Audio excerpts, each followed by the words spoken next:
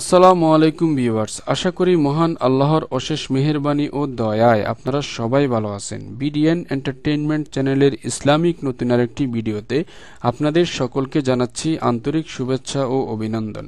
আজকের এই এপিসোডে আমি আপনাদের সামনে তুলে ধরব জাহিলি যুগে আরবদের সাংস্কৃতিক অবস্থা কেমন ছিল।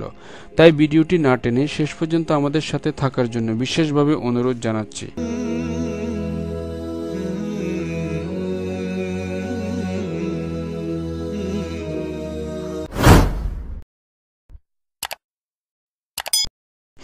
পাক ইসলামিক যুগে আরবদের সাংস্কৃতিক জীবনের সবচেয়ে গুরুত্বপূর্ণ বিষয় ছিল উকাজ মেলা, যা বৎসরে একবার বসত। এখানে সাহিত্য ও সংস্কৃতির ক্ষেত্রে বিভিন্ন অবদান এবং কৃতিত্বের জন্য পুরস্কার বিতরণ করা হতো।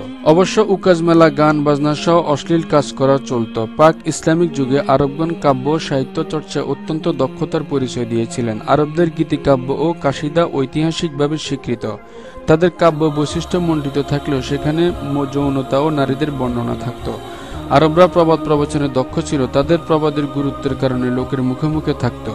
তৎকালীন তায়েফের মেলা ও সংস্কৃতিতে প্রভাব ফেলত। আরব জাতির মধ্যে একটা ভালো গুণ ছিল যে তারা কোনো প্রতিশ্রুতি দিলে তা রক্ষা করত। ভিউয়ার্স জাহেলি যুগে আরবদের সাংস্কৃতিক অবস্থা কেমন ছিল তার সংক্ষিপ্ত আকারে তুলে ধরার চেষ্টা করেছি।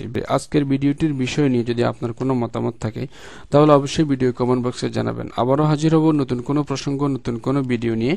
সে পর্যন্ত সবাই ভালো থাকবেন, সুস্থ থাকবেন। ভিউয়ার্স আমাদের ইসলামিক ভিডিও বাংলার পরবর্তী পাঠ, জাহেলি যুগে আরবদের ধর্মীয় অবস্থা কেমন ছিল তা দেখার প্রত্যাশা জানিয়ে এখানেই শেষ করছি।